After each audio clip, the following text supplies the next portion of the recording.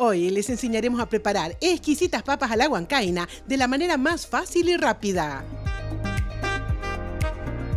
Para hacerlas necesitamos papas cocidas, huevos duros, aceitunas negras y utilizaremos DG6, que es el desinfectante más potente y rendidor para desinfectar las lechugas y los tomates. Solo basta poner 30 gotitas en un litro de agua, las dejamos reposar por unos minutos y listo, nuestras hortalizas quedarán bien desinfectadas.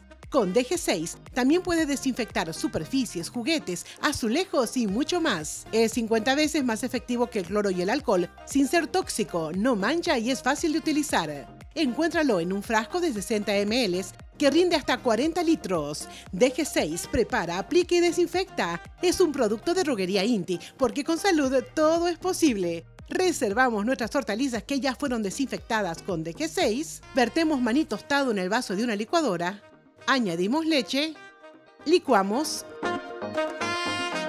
y lo reservamos. Freímos en aceite ají amarillo en polvo. Agregamos agua y lo dejamos cocinar por unos minutos. Después añadimos el maní con leche, queso fresco rallado, le ponemos sal, mezclamos hasta integrar y cuando la preparación empiece a hervir, apagamos el fuego y la reservamos. Acomodamos las papas cocidas sobre un mix de lechugas. Encima vertemos nuestra deliciosa salsa de maní. Decoramos con tomates, huevos duros y aceitunas negras. Ahora les toca a ustedes preparar y disfrutar con sus seres queridos de estas deliciosas papitas a la huancaina, con la seguridad de que nuestras hortalizas quedaron bien desinfectadas, gracias al poder del mejor desinfectante DG6.